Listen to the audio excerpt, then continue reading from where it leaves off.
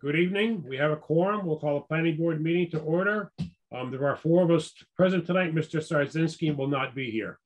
So first up for general information is, well, the only one, Lynn Gray.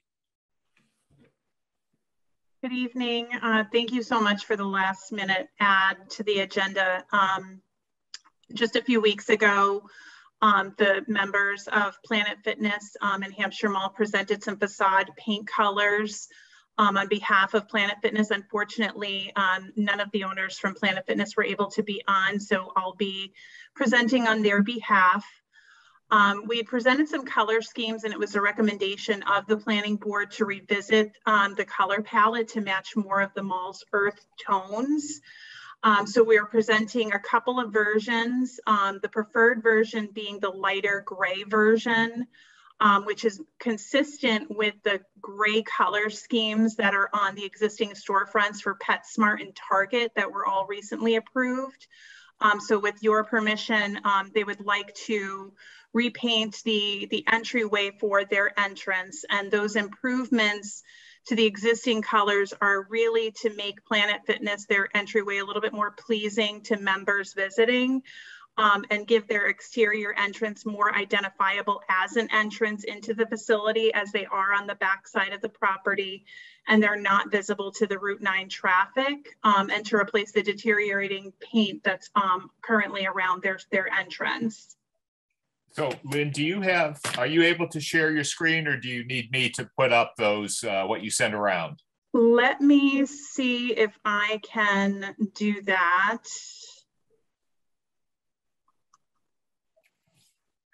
Here we go. I used to be Zoom savvy and then we started. There we go. So I'm sharing my screen. The first can you see this? Yes. Okay. Hmm. There we go. This is the lighter gray version, and this is the preferred version. I don't know if you want to see um, an alternate, which is a darker gray, um, but this is the version that the tenant would like us to move forward with if it's possible. And I have also, um, I shared some photos of what the paint colors were that were approved for Target. And it's well within that, that scheme, this classic gray. Um, some of the accent colors that they had in here, you can see sort of, oops, sorry, match up to the, to the two tones that are in here now. And then PetSmart, it's not a great photo, but it's a photo that can show you that theirs is sort of a lighter gray. Um, it's not exactly that, that cream color that exists today. Um, it helps make their entrance a little bit more pronounced as well.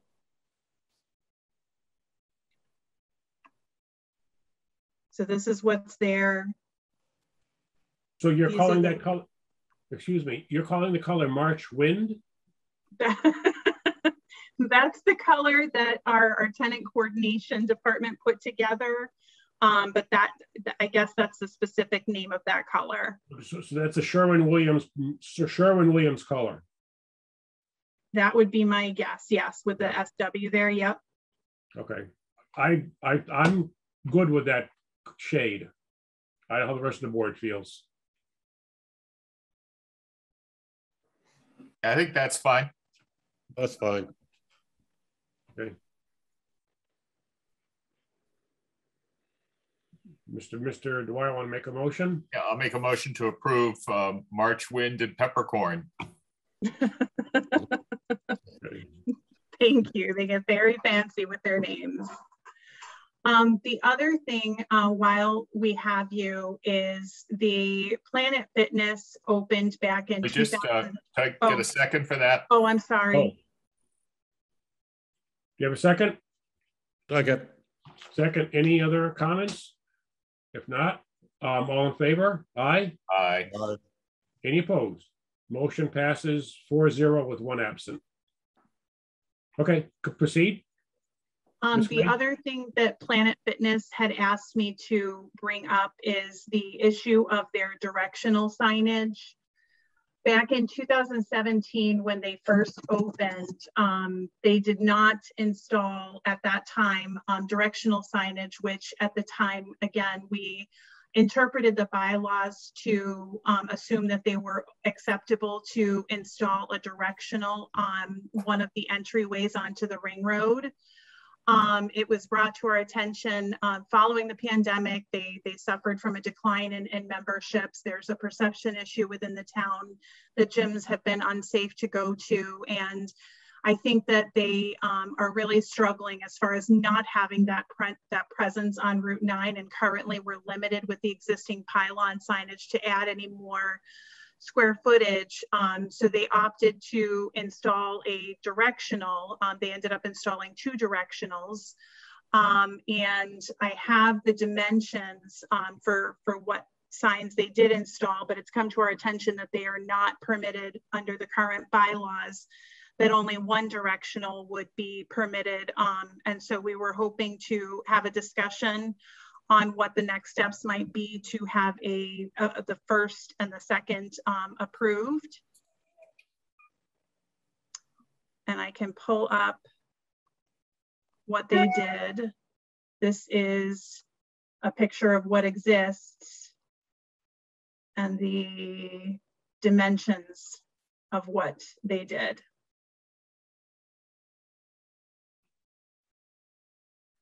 And so currently they have one on the, um, I can't think if it's the northern or southernmost uh, point on South Maple, and then one that is on the Route 9 side near where Target is.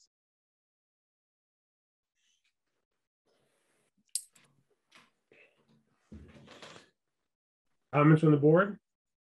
Uh, I'd certainly, you know, as a directional sign, the one on South Maple Street would be acceptable.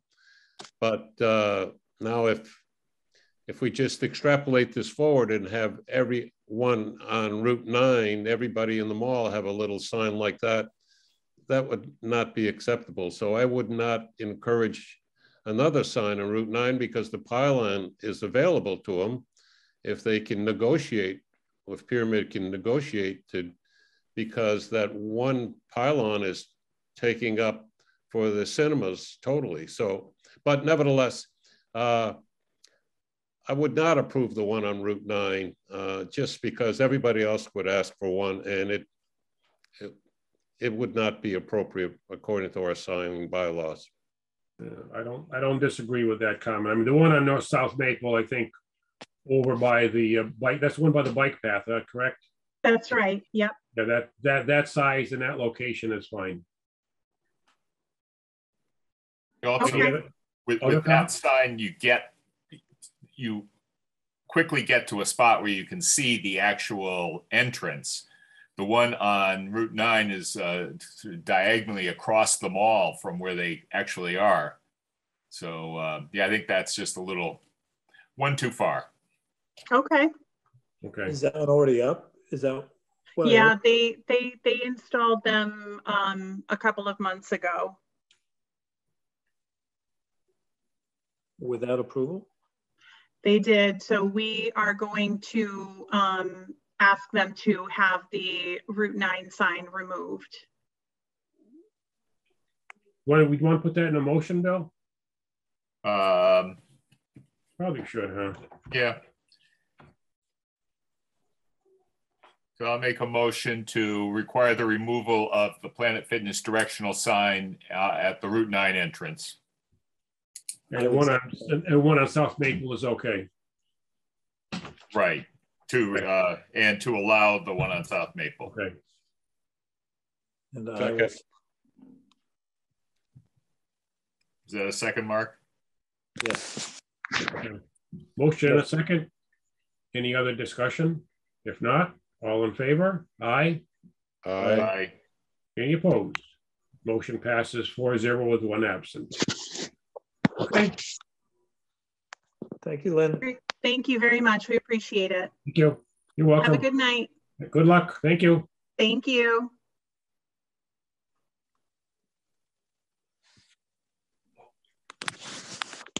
Um, we got a few minutes before Ken, so we got some bills to pay. The first one is a invoice to the Daily Hampshire Gazette for the ideal legal notice in the Gazette for the TDR.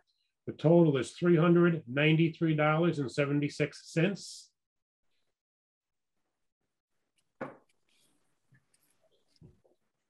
I'll make a to motion to approve.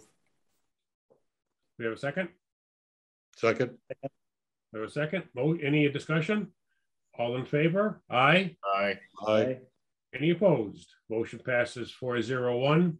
Next one is for the zoning notice in the Gazette for the uh, zone men that we're having tonight.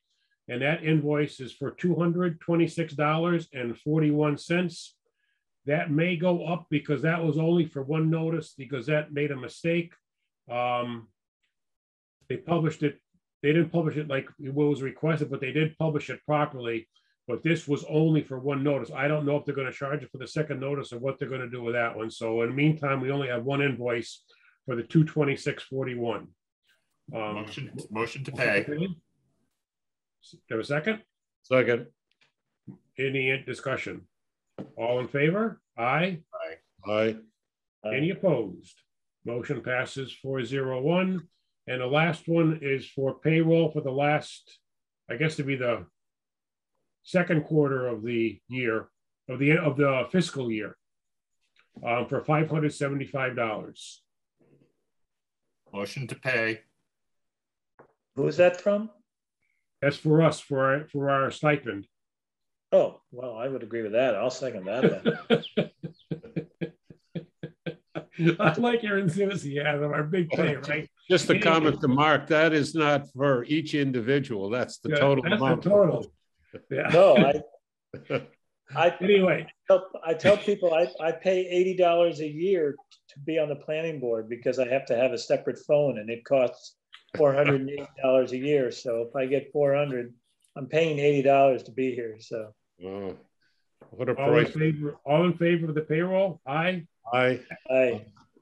Any opposed? Motion passes four zero one. I will get those out to the treasurer. All right, um, well, it's just about time. So uh, just a couple of things. something? Uh, I, we should do a motion to continue ideal. Oh, Um, they were, Yes. we had had them on a standby to come in. So, um, I'll make a motion to continue to, uh, was it November five? November five. Okay, we have a second? second, in November five, isn't that a Friday?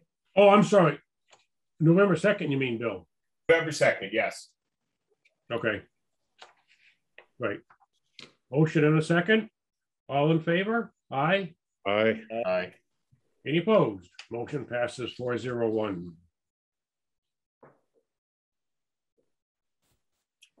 And um, Tom Reedy had sent an email about, he wanted to be sure that we had the uh, application. I had actually missed it when it came in, but I forwarded it to you, Jim, this Yep, afternoon. I got, it. I printed, I'm gonna put the sign, put the, put the uh, amount on and email it back to Tom. I'll get that tonight. Okay.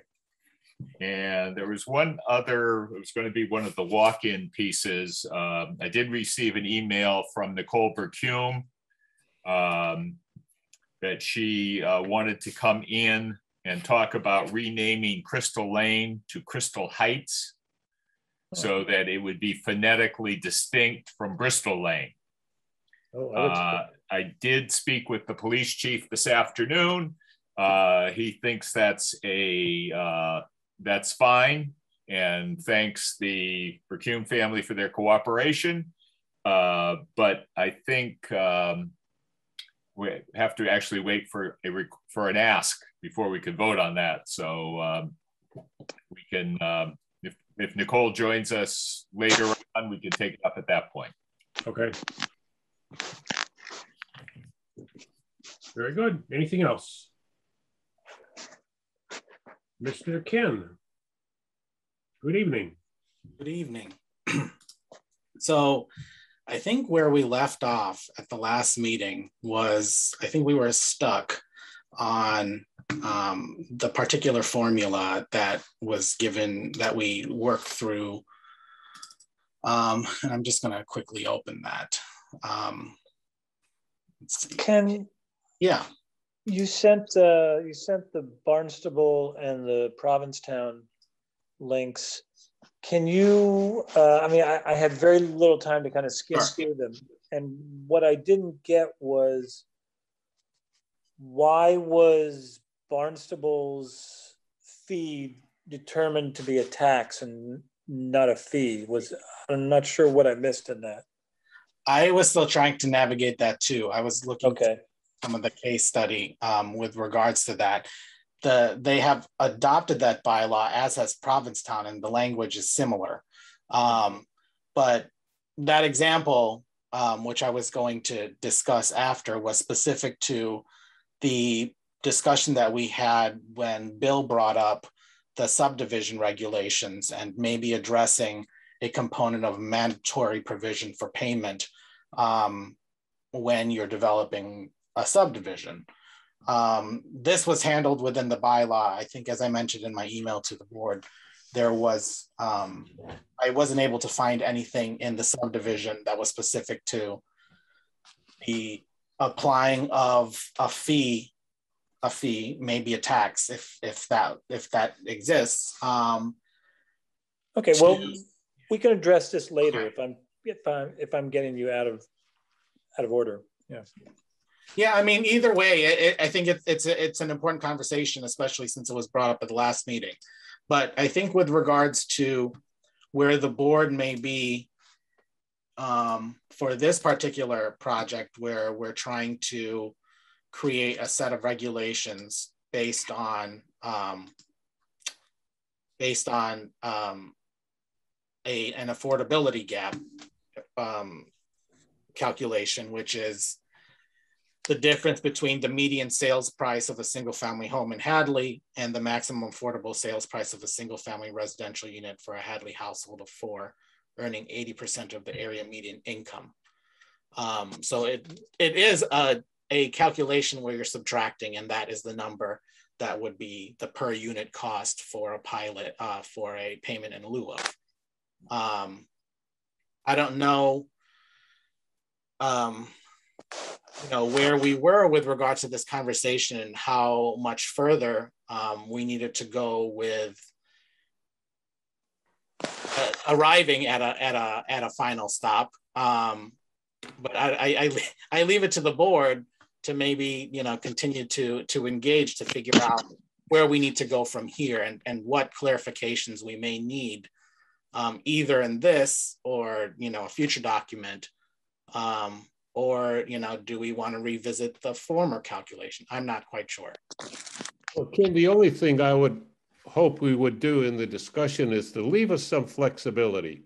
okay. Because the, the, the housing market is just crazy. I mean, there was an editorial in a paper that California, uh, if, in order to house more of their homeless, are putting up uh, eight by eight sheds, like something you would put in your backyard to store your lawnmower, which ordinarily would cost probably close to fifteen hundred dollars, is something costing, after all the government regulations, is costing something like thirteen thousand.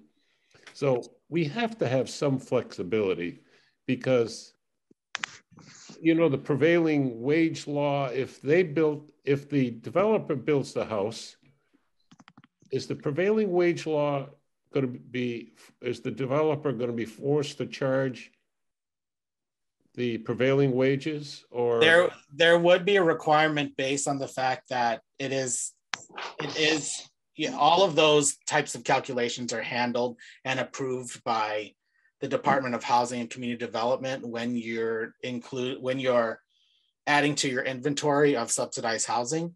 Um, so I'm sure that whoever is going to be navigating the administrative process, whether it's someone on staff that would be, you know, forwarding those documents, they would have to ensure that that type of work was being done.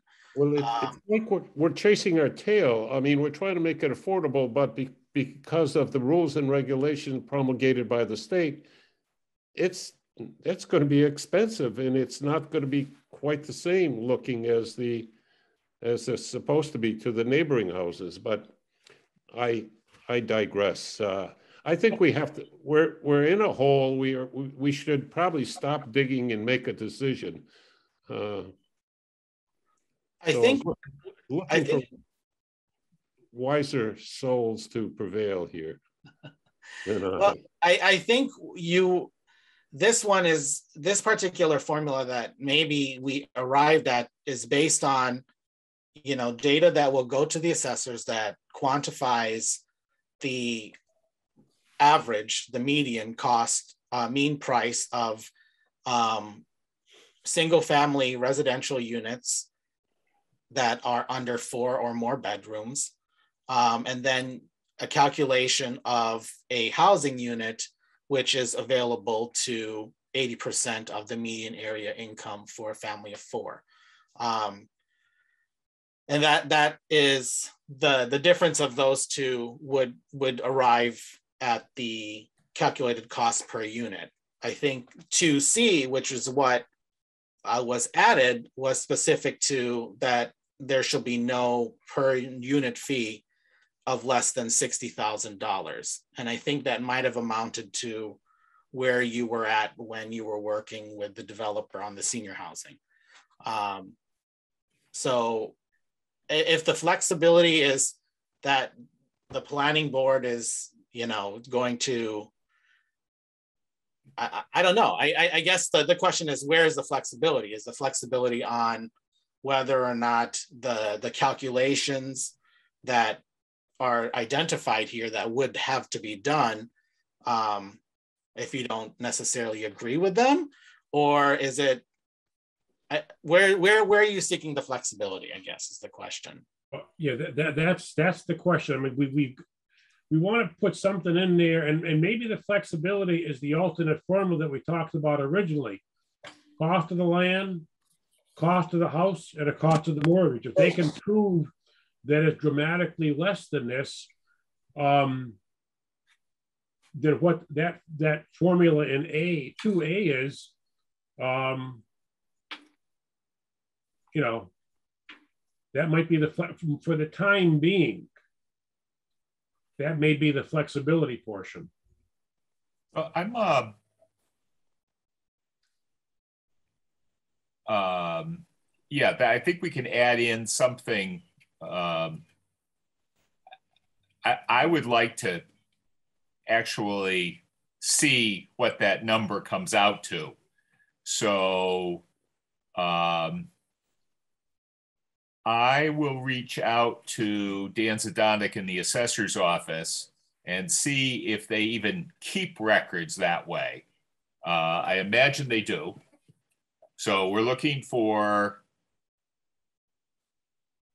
up to three bedroom houses. Uh, the average sale price of a three bedroom, of an up to a three bedroom house for the past 12 to 24 months. And honestly, that might be another place where we have some flexibility because if we know that there's been a spike in the last year, we can average it over four years or. Um, Right, I mean, and, and Makes sense. recently, over the past probably six to 12 months, there has been a, probably a spike in prices, both in the construction price and the selling price. But let me think, a year, a little over a year ago, when I was looking to put my addition on, I was being told that the price, to price my addition between 150 and 200 dollars a square foot. So. And that's not far from where the addition came out if I had not been doing so much my, so much work myself. So Ken, if I can find a number for two A, Mhm. can you find a number for two B? Yeah. I, yeah, I think um, if we can get an example, um, if yeah, Bill, if you have like, if the assessor is able to provide that number, I think we can deduce based on the formula and um, you know seek out the other community and how they approach this. Um, you know, I think that there is this conversation that we're having in housing across the state with regards to inclusionary zoning and this payment in lieu of. Um, so it, it, I think it's it's a fascinating time that we're we're currently discussing this at the moment. So, um, but I think that I will be able to come up with that number and we can figure out how close it may be to the um, sixty thousand. Um, I think if if the board wants to, you know, if the board wants to look at, let's see if I can find that. Um, I like the idea that, that, you know, if we were in a spike and we felt that was gonna be an undue burden on the developer, that we could have the purview to expand the average period from two years to four years. Um, as long as it's not deemed uh, arbitrary and capricious. You know, what we need to do also in the case of the averaging of the prices, like throw out the high and the low. Because you may find, Yeah. would you would you feel that that needed to be addressed when we're I. I don't think we need, I don't think we need to put that in writing so much as a, as understand. I don't want to put that much detail into this thing. I don't know Right. crazy we putting in that kind of detail. yeah, you know also take a look at it i mean you may, find out that the high and the low if, on, on certain times there may not be a big difference mm-hmm. so it's not going to be a big deal to put to include them other times you may find that you know one or two homes is way out of whack so Yeah, where, where it's going to get tricky is the ones that uh, the interfamily transfer with a retained life estate where it's you know hundred dollars or a dollar. Um, really um, Those would be good to, to throw out. yeah, I think we have to throw those out, but I, I wish, I, I don't know, and maybe I have to talk to Dan about this. There's a way to capture the value of the property that changed hands. well, and, and you may and, and it may be the assessed value in some of those cases too bill Yeah, there there seems to be this word within this this particular regulation qualified i don't know if and i'm Yeah. not sure if that means you know that transaction um i can determine if that's the case um but that makes sense Yeah. Would a qualified market sales knock out that family trust or whatever? Yeah. Yeah, that's where we got to take a look and and and look at that word uh, but that, that does give us some flexibility, but I would like to maybe pin, give it a little more, uh, put some criteria in there. Um, know, what we, uh, the, um, the other, uh, ver- the other expression we use is an arm's length sale, implying a willing buyer and a willing seller. So, um, oh, okay is that a legal term bill uh, more or less. okay Yes. Yeah, I'd say it was. It, it's a legal legal phrase within the with a generally understood meaning. So um, it's you won't find it in a statute necessarily, but uh, and then I have to brush up on my mean, median, and mode.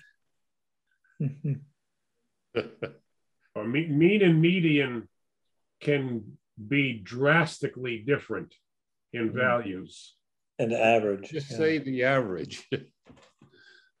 yeah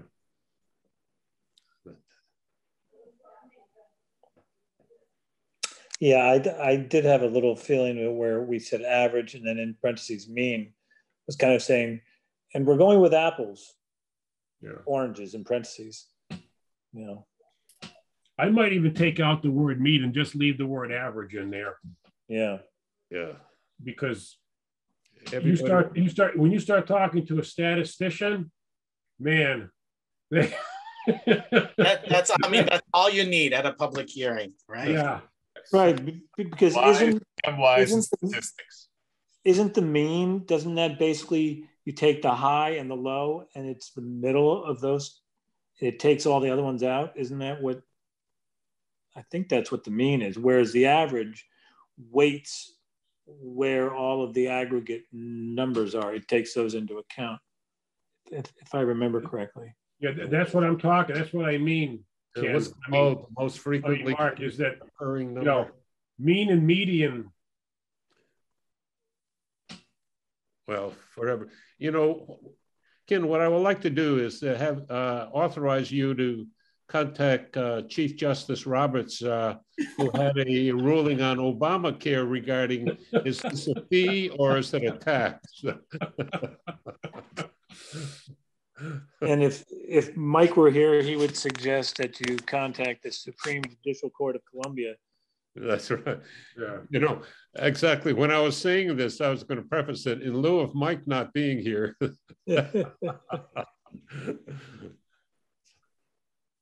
Well, now that he's in Italy and Europe, he can he can come back with the with the way they have zoning in Europe. And if you've got a farm, it's a farm. You cannot convert it to building lots without approval of the state. Pretty much. Jim, were you on board uh, when we had the uh, the group from England come to a planning board meeting? Yes. Talking about the difference in zoning. Yeah, Yes. that, that was interesting. For example, in, in the valley here, certainly Northampton would be the commerce center of, of the county. And of course, we would be the agricultural place that we couldn't convert anything to housing and uh, so on and so forth. But they take a wider scope or wider view of their zoning than we do, town by town. Yeah, that's why when you go to a lot of places in Europe, I mean, we're off the subject a little bit, but you'll see vast, wide open spaces and little villages. The little villages where all the people are concentrated, and you cannot go out into the country and put a house up there, even if you own the land. That's strictly for farming. And Hmm. that's protected.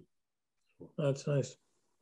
They're not blessed with a lot of land. That's why they want to preserve the farming land as much as they can. It's not like out in Illinois, Mark. Anyway, back to the topic at hand. Okay, yes. So Yes. um, yeah, I, I think, you know, we're, we're putting some good words in there and we're, we're, we're allowing ourselves a little bit of flexibility. Oh, what about the, Billy, what about your idea of hitting everybody? Like right now, this is for six and above houses. We also want to have the people that are building any subdivision, put something in. no, I think it'd be too cumbersome. We're not behind the eight ball. The remember, remember, we kind of calculated, you know, the what was it, 10 and under, and how long it would take, blah, blah, blah, in order to uh, but if if it's too small, we're almost discouraging any development. And do we want to do that?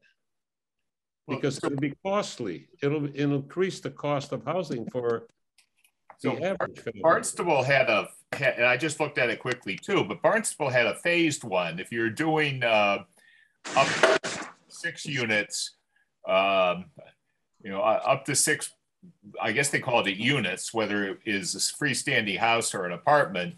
But uh, up to six, you just had to pay, everybody paid 500 to the Affordable Housing Trust Fund. And then if it was seven or more, you actually had to had to put one in. They didn't seem to have a payment in lieu clause, or at least I see it if they did. Uh, I would say keep it the way it is for now, and we can always change it if, if we need to have, Well, I, I, let- you know, maybe that, that might be a good idea. Let's get this correct. and let this, let's, let's get this going. And then maybe we can revisit it after we get this in, even if we don't have any subdivisions applied. And then put something in to change it for the Yeah. smaller ones. Yeah. Well, what I think, I think that I think that's a good idea. Um, I actually have a meeting with um, someone from the Hadley community on Thursday um, regarding a forthcoming housing production plan.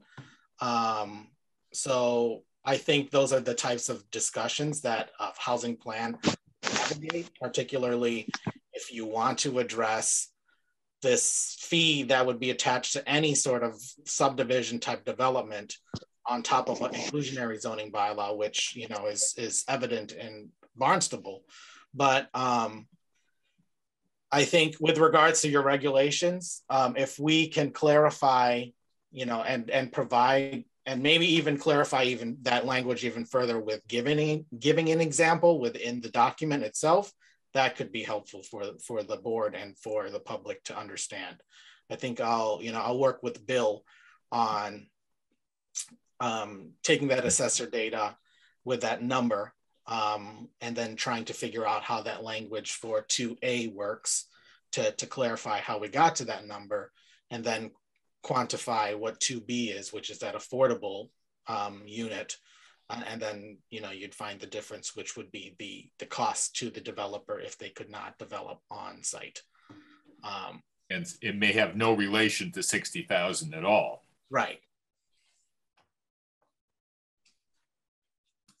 I mean, and, and I guess if, if the board also wanted to ease that language with regards to the 60,000, I, you know, it's possible if you, if you wanted to make it, you know, less stringent, um, or it, it would be more, what's the word?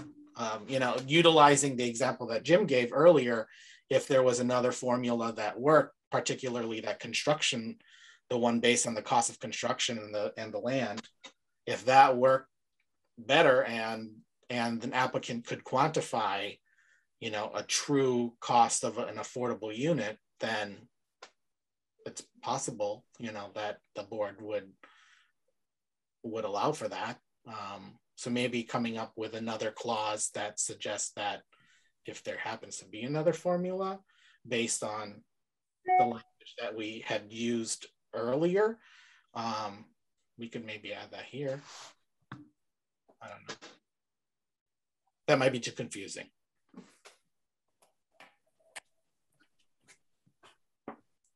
Well, I think with the, are we trying to, is this, is this, uh, do we have a placeholder for this as an article in two weeks or? No, we No. do not.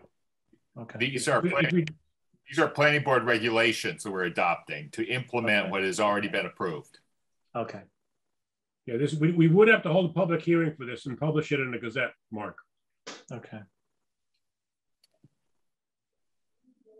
So this We is don't- not, We don't need approval of the planning board to, uh, to do it. so this is not technically a continuation of the public hearing on the adoption of regulations because Mike's not here. Um, But this is just a discussion, continuing discussion, and we have the actual public hearing continued to um, our next meeting. Okay.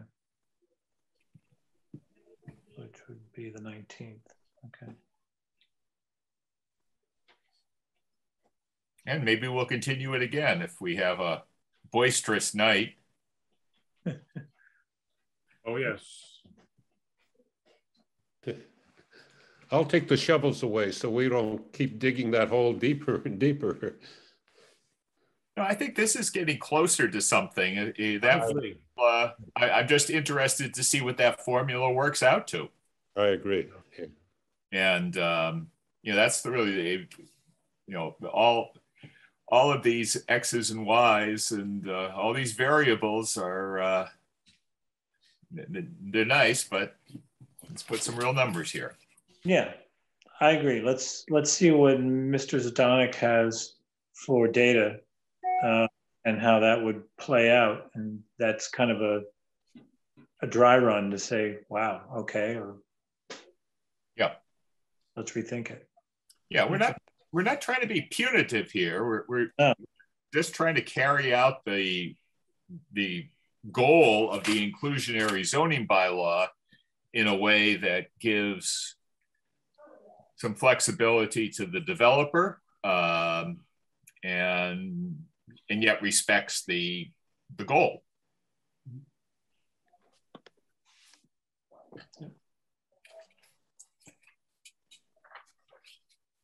Thank you, Ken.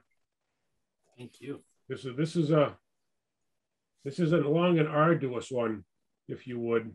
But It, yeah, I mean, it, but this happens. I mean, housing is, uh this is an important topic, and uh, oftentimes this is the one that takes a long time. but I think we're getting closer. Yeah. So I don't know what we want to suggest for a future meeting. Um, So potentially, the 19th is either going to be a very busy night or a very quiet night. Well, Kevin is on, but I, I gotta get a hold of Randy to find out if we're actually gonna be in for that one. So, because that's the continuation of Kevin Michelson's. Mhm. And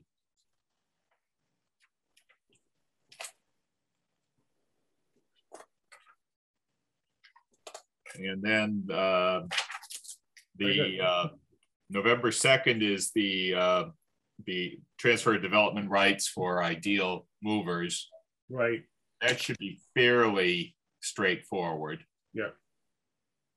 I have not heard back from um Ag Resources, so I probably have drifted down in his inbox uh, because I asked for something that he had to look up. So I'll uh, Okay. um,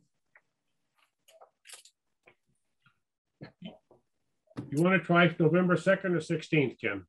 Anyone better than you? Um, the I mean, either or. I I uh, um. I mean, it, it, it maybe the second. Okay.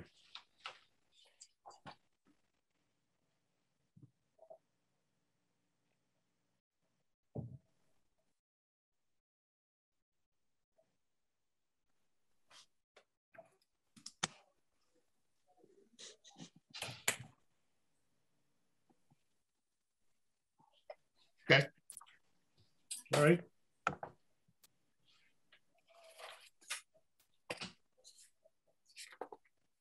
Anything else for Ken?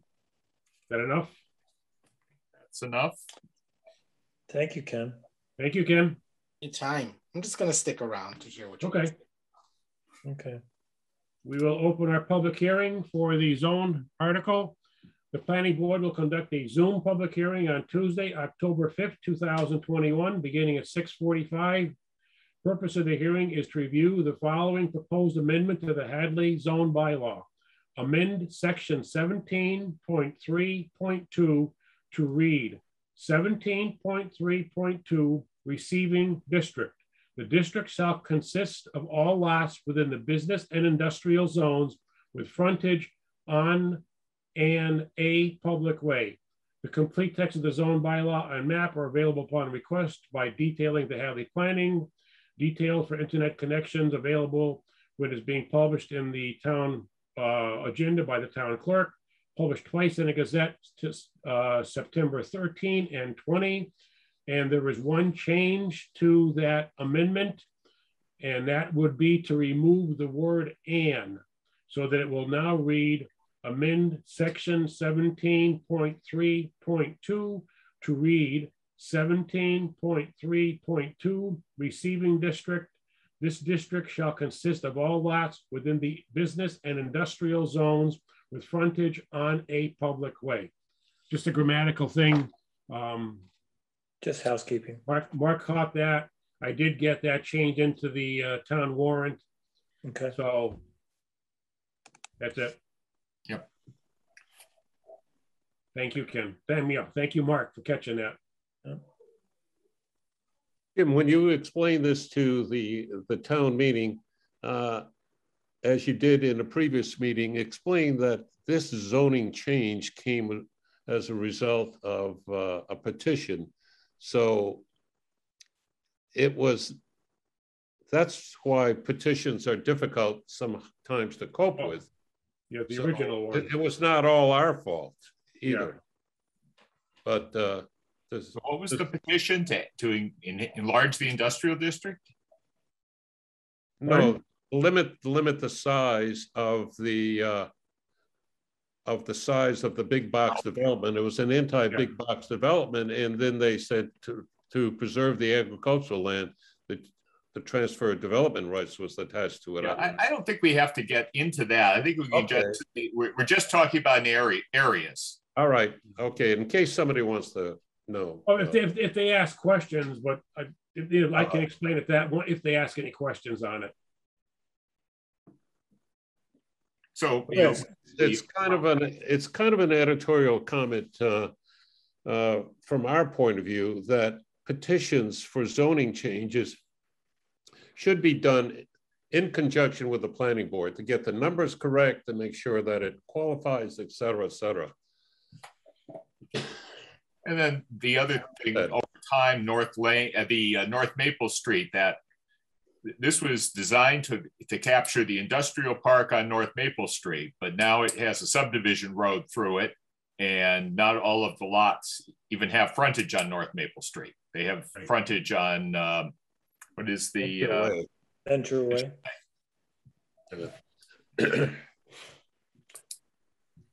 You're right. Yeah, so it's not so much a substantial change as a grammatical correction to, to take loopholes out of the net. It, it, it, it- it's basically to make sure we include all the business and industrial, only the, not the business, not the, the local and limited are not included. It's just a regular business and a regular industrial land in the town. Right. So, yeah. Doesn't look like we have a lot of dissenters attending tonight's meeting. I'll Wait till Joe gets back.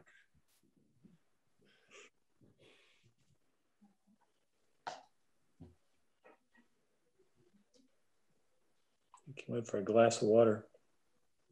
Yep. There's Mr. Zgrodnik, a tall glass of water. He's a tall drink of water. That's what I had to get. I will make a motion to recommend approval. I would second it. We have a motion and a second. All in favor? Aye. Aye. Aye. Any opposed? Motion passes four zero with one absent. Um, I have nothing else. I'm checking my notes and I don't have anything else either. I would say maybe just uh, um, just wanted to clarify one thing that came out at the, I guess was the CPA meeting. Um, the um,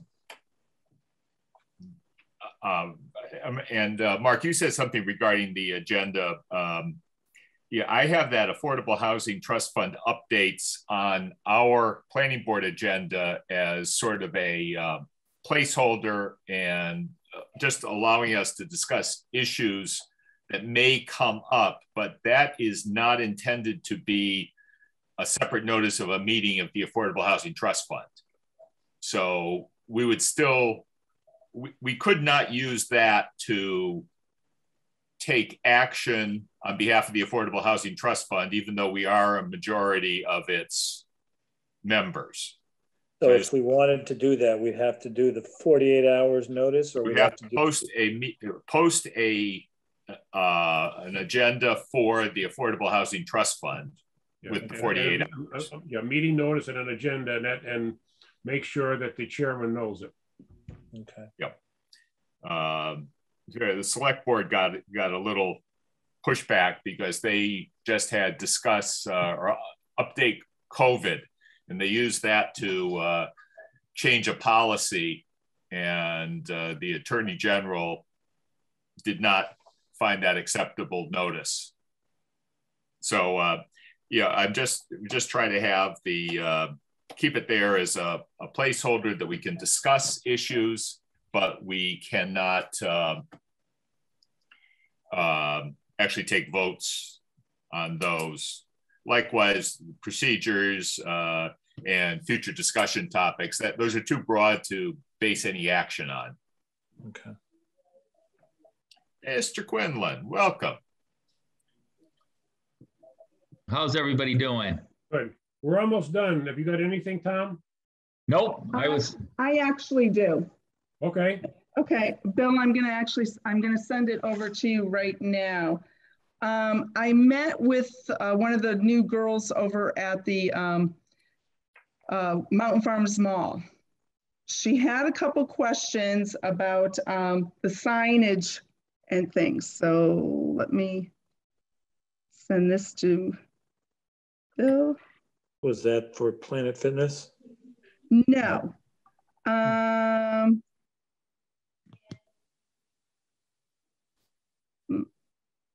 EMS must be gonna be leaving. And there's They are? signage, Uh, they, they might be. So what I'm sending you is, first of all, what they want to know is, say down the road, because too many, um, I know there's a couple other stores that will possibly be opening. And I know like Old Navy, their signs are bigger, things like that. So if at some point you guys can put together something about how their signage should go, so every time a new store comes in, they want to know if, like, say, if Old Navy got replaced, would they be able to put the same size of sign that Old Navy has now? yes. Okay, so these are things that they wanted to know. And then, let's see here, why is this not? In, in, in Old Navy, I believe, received a zoning variance. Okay, And that zoning variance continues with the site as opposed to being unique to Old Navy. There was actually a case law on that from Hadley where basically Mr. Weinsick was, was, of of the uh, River Drive excavating, was granted a variance for something and the zoning board worded it in such a way that it was unique to one person and it went to court. This goes back years. And it was appealed that it was not unique to Mr. Weinsick. The zoning board said it was, and it was turned up to be not unique to Mr. Weinsick, that it carried with that, I don't want to say property as much as that application, whatever that might have been. Because I don't remember the exact, I don't remember the exact terms of that. Remember that one, Bill? I do. Um, It's Okay, I'm gonna- Probably Put this around to everyone. that, yeah. But the old, the old Navy, I don't think they got a variance. Remember, there was a huge discussion. They had a sign that looked like the one in uh, Chicago on, on their, that uh, boardwalk that Chicago has. It, it was like 200 square feet and they claimed they weren't going to come into town if they couldn't get that sign and we made them made it, make it smaller and conform. There was a lot of controversy over that sign. And it was going to be way above the roof line. and I think that's the thing. They're a little confused because of previous signs and any new signs coming in. What their whole, you know, are they supposed to say the 40 square feet and under for every sign, any new signs coming in? You know, that's where they keep getting questioned on by people that want to move in. Well, the, the It, the it, question, question was that this was a real problem and they all went to the zoning board of appeals and the zoning board of appeals was granting a lot of them. So each one is distinctly different.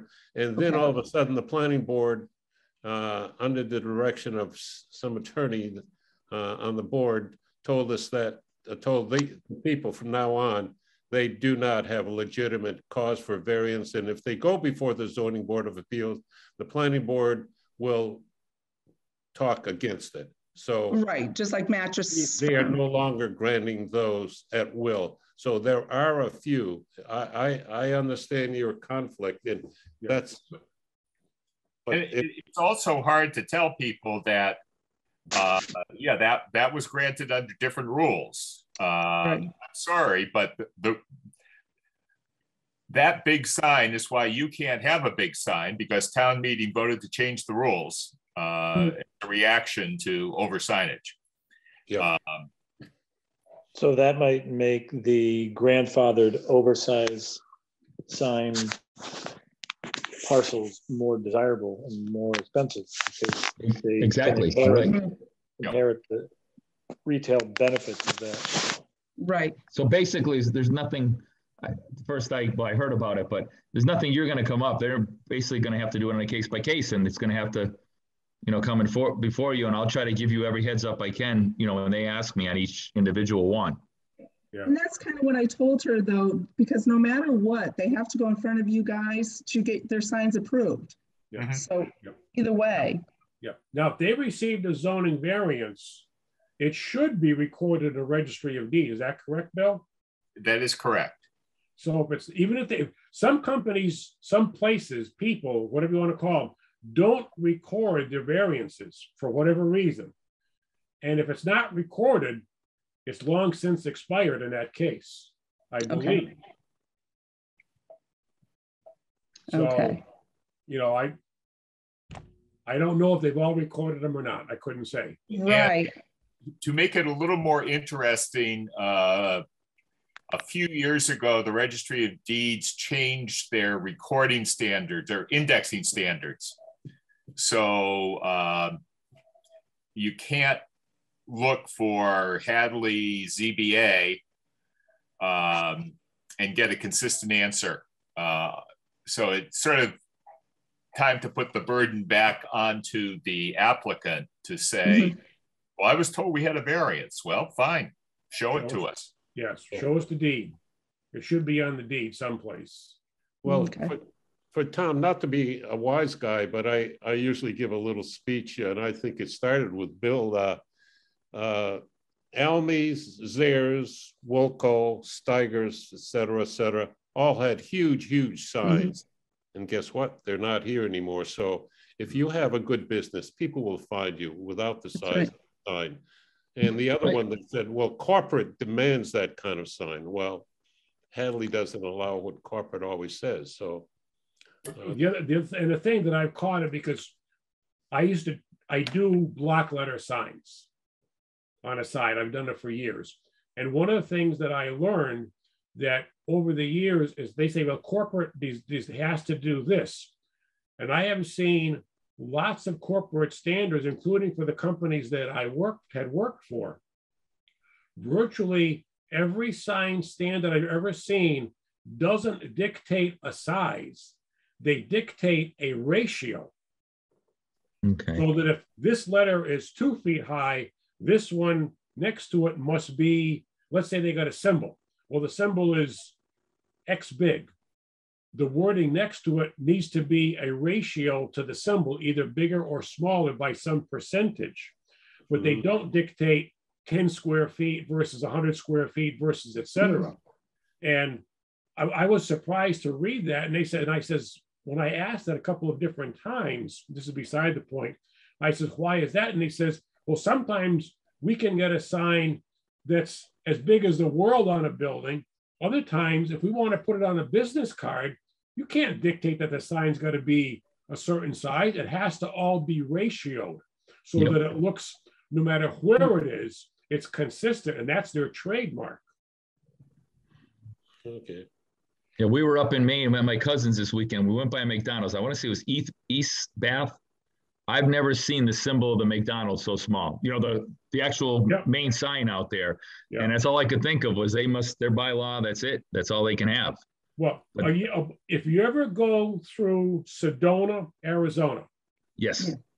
Yeah. you drive through the, the main uh, road of Sedona, you don't even see the shopping centers. All you see is massive trees, beautiful Yep. landscaping, and little signs. And I do mean little signs for the whole mall. And once you drive into the mall, it's different. But from the road, you see virtually nothing. It's absolutely, this is the newer developments. The older developments are a little bit different. But I remember going through there, I don't know, however, last time, maybe five years ago, we went to see the Grand Canyon. We were in Sedona. And I, my wife says, boy, whoever the zoning board is, whoever the planning board is here, they're really good at zoning bylaws. She's always busting me on that stuff. Yep, And it's right. It, was- it's, it's really, really pretty. yep. That's my favorite spot. I love Sedona. Oh, But Yeah. Jim, Jim, uh, when Lisa was on the board, she was, uh, Jim used to send pictures of his travels. One was Sedona and the other was when his daughter was at UVA, he was sending pictures of McDonald's and Dunkin' Donuts and places like that. So uh, they're not I did- always as gaudy sometimes. Ju- They- Just, the- just, yeah, Tom, well, I'll send you an email on this, but just to let you know, we approved the Planet Fitness um facade entrance. We're Okay, gonna make the colors, say call the color March Wind and Peppercorn. And the one in uh directional sign that's on South Maple Street by the bike path, they're allowed to keep that per size, but the one that's on Route 9's gotta go. okay, great. Thank you. Yeah. And I have to let you know, I got an email a little while ago from a business owner that goes into work early and uh, actually sent the email to thank me for picking up all the pancake signs or the, you know, all the signs out there. So that people notice. It does go notice what you're doing. Yeah. They got noticed for what I was doing. Sometimes, sometimes when I'm driving around, I'm picking up all of these, you know, because I, I think when, when Tim was in, it was a building inspector, yeah, I says, who can take down these little, uh, you know, eight by 12 signs or whatever they are, advertising, you know, um, we buy houses instead of stuff like that. He says, anybody. Oh, really? Okay. Yeah. He says, we take them down all the time. He said, if somebody, keeps, we put them in a town garage. He said, if somebody complains with someone, they're illegal. You could come and get them if you want. He says, nobody has ever come and got, taken them, taken them back. Yep. East Hampton is clearly written in the bylaw that it's the building commissioner or zoning enforcement officer that grabs them. So Joe fighting Kevitz every couple weeks, hey, you better get on those signs again. But it clear, their bylaw clearly says that it would be the zoning enforcement officer that can take them, which really covers you. Okay, Um, maybe we should, maybe, we- maybe we should put something like that in. It, ha- it was very helpful because then there was, you- and you left them by the, uh, same thing, DPW shed. I think there might be a law, 30 days or something. They sit there before they get thrown out, but you can always go pick them up there if somebody complains. That's in East Hampton, huh? I'll have to Yes. take a look at that. It's a very, yeah, um, he's the commissioner that was on the bylaw committee in Southampton, uh, I'm sorry, South Hadley now. And Joe said he worked on that, you know, that was his thing. Um, years ago on that. Yeah, that's Tommy's thing too, with those signs. Except he, we've been trying to keep up for a little bit, like certain businesses, if they have hiring, because they're really trying to hire people. So if they have too many, he's been taking them, but we've been leaving at least one. So, because, you know, we do want to help out those businesses. Well, yeah, I mean, uh, somebody's looking to hire. I don't want to take their hiring No. side Right. down because everybody's sucking pond water big time. Exactly. Creek Yeah. Holy smokes. But But if they get carried away, it's different. Right, there was a dozen on the corner for Five Guys. So I took them. I went, I saw them that night going through to inspection, so I went at five thirty-six, whatever, it's easier to get them then in the morning and, and, you know, took them all. That was out of control, all around the building. But Now, are any of the um, signs in the Mount Farms Mall internally lit? Some are Yeah, Okay, yeah. all right. 'Cause prohibition that, on internal illumination was about, uh, what, about eight years ago, eight, ten years ago now. okay. And That that's when I told her, that's why the other ones can't have them now. Yeah, Right. And, and we're, we're, as they come in, we're trying to ne- negotiate with a lot of these people, companies about getting rid of them in some way. Right. Yeah. So now the thing that I sent over to uh, Bill, um, I guess I'm, I'm, I'm assuming the way she was talking, EMS is either probably moving. I know the AT&T building that had the eyeglass place, I think they're looking into making that one store and they're gonna move AT&T into one of the smaller spots. So I don't know if maybe EMS is gonna move into there or what their actual plan is or where People's Bank. Um, but the problem with EMS is they said that because they're so far set back, they feel that nobody knows that they're there and they're feel that they're going to have a hard time leasing that spot out. So what I what they were looking to do, and that's why I said, well, let me just get, get this by you guys, is um, still have the signs on the building, but they wanted to do that kind of arch thing with another, you know, with the name on that sign, all on that arch also. Okay, hang on a second. I'm gonna, uh, I'm gonna share my screen now. How, did- how did it go with the um, street change, the name of the street? Uh, Nicole did not come in. Oh, okay, all right. I did uh, speak to uh, Mike Mason this afternoon. He thought it was just fine. So he's just waiting to hear from us that it's a go. Okay, good. Okay, so this is what uh, was sent around.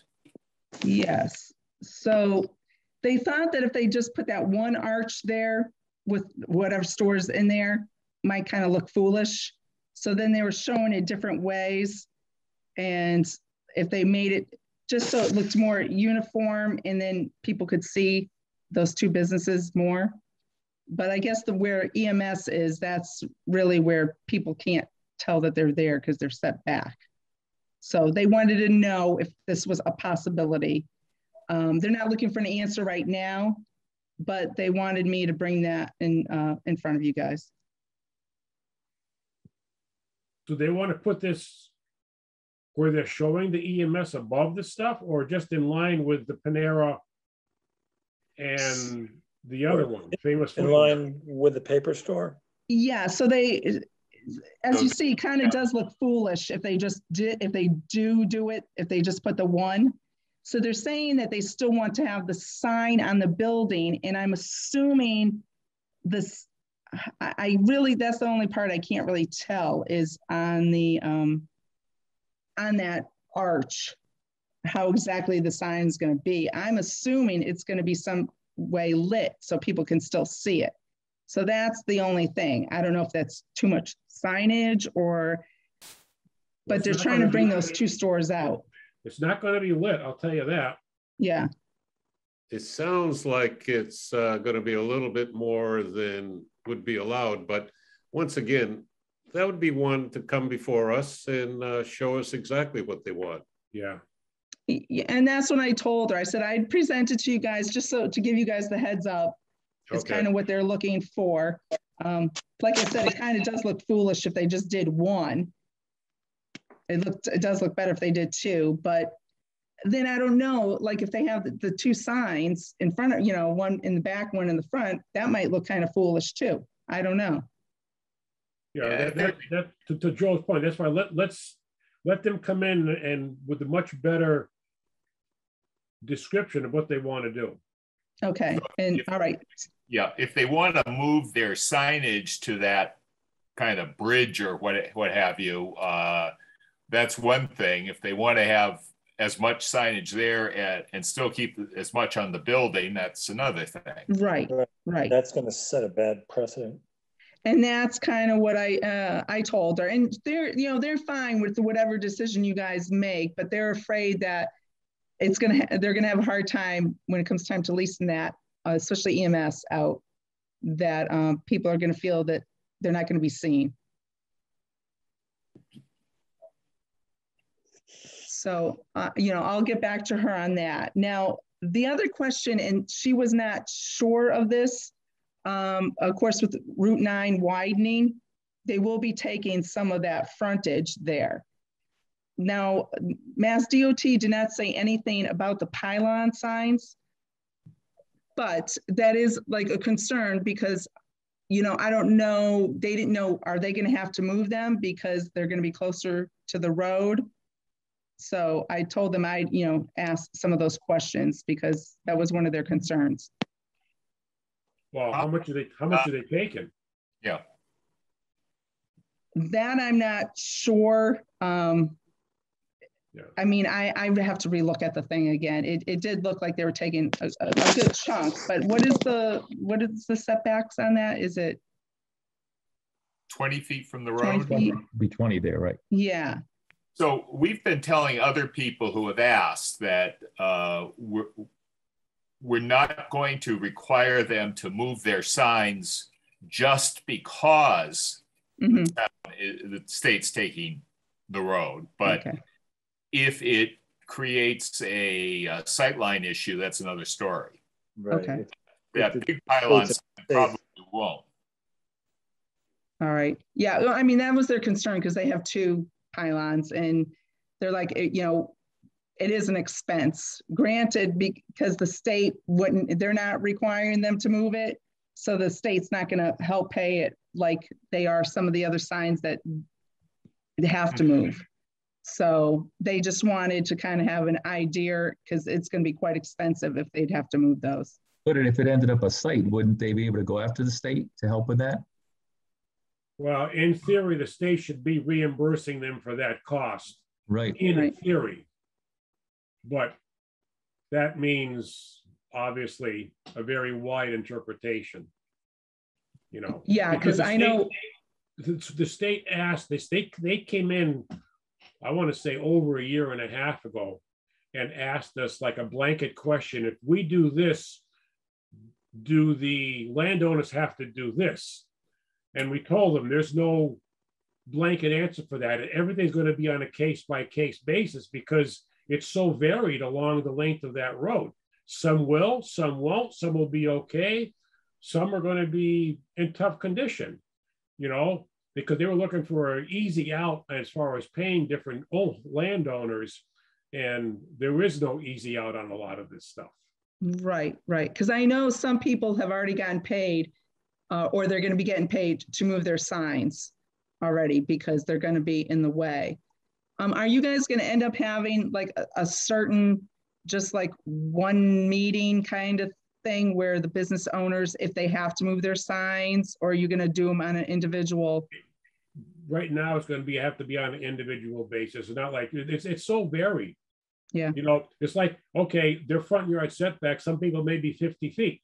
Well, if they take 15, they're going to be 35 feet. It's like saying, well, you're going to move your house back 35 feet. You know, you know, no, that's not going to be the case. It's Right. going to be, you know, um, how close are you? You know, and, and then we, we, we're not going to put them out, but, but the plan said there was only exotic auto was, was the one losing their business. But Right, that building across the street where their back of the barn is already in the Route 9 right of way. When they're done, their porch is going to be something like a foot and a half from the right of way. right, We were And that house that. can stay. That's not our concern. That's the state and the landowner, however they decide to accomplish that, Yep. you know? And, but those are the two worst cases. okay. Yeah, because I know the one that's next door to uh, Hadleaf, where Hadleaf is going, the palm reader. Um, she already it was told that she's going to have to move her sign. Okay. So, uh, of course, her house is pretty close there too. So, Yeah. um, but yeah, I, I, I told them uh, uh, no matter what, they're still probably going to have to go through you guys anyways. So, Yeah, we're, we're, we'll certainly, depending on the volume, uh, if we can encourage everybody to come in one night and just talk about signs, uh, that'd be fine, but we've only had an occasional question. There was one, uh, in fact, I think it was one of the Parmars that wanted to uh, actually get their sign relocation settled a year and a half ago for the um, the new hotel they were going to be building, but you know everything's sort of on hold now. Um, And um, others, you know, we haven't had a lot of uh, lot of questions, but I think in general, no, we're not going to require it to be moved just because it is now closer. But uh, we need to take everyone needs to take a look at how uh, how it affects sightlines. Right. Right, okay, yeah, and I, I told them, I go, believe me, we don't want to put anybody out of business or anything like that, and we're gonna work with everybody, it's just that every situation is gonna be different. Yeah, yeah, we're, we're gonna be accommodating as we reasonably can, but you know, the biggest thing is safety. If it's, Right. if it's still safe when it's all said and done, that's probably gonna be good. Yeah. If you've got an elevated, you know, pylon sign that has open space beneath it Right. that will maintain visibility, then that's probably going to be okay. But we'll have to, it, again, it'll be case by case. Yeah, we're gonna be busy. Yeah. Oh, yeah. Well, thank you. In the name of progress. Yep. yeah. So, okay, so I'll, I'll let them know that, you know, about that arch thing, that if they're really looking into it, to go, Okay, go in front of you guys. okay. So that's it, I think. Thank you. Sorry we're late. I had a training all day and yesterday I had to leave halfway through because of a little incident in town. So What are you training on? it's my continuing ed. It's, it's, uh, the. Oh, for the, Yeah, building yearly stuff? one at UMass. So, but today we had a networking after work. So, I mean, after the training. So, oh. Does your assistant building inspector they have to go too? I got to go, yeah, later on. she got to yes. go later on. So they all got an earful at our table. So, Okay, all right. Thank you. thank you, Thanks a Yeah. lot. thank you. Um, anybody have anything else? I have nothing Go else. Red Sox. Very good. Mo- Motion to adjourn, So move. Moved. motion a second, all in favor? Aye, And- Yep. meeting is history. Thank you, and thank you, John. Thank you, Ti- thank, oh, they already left. And thank you, Kim.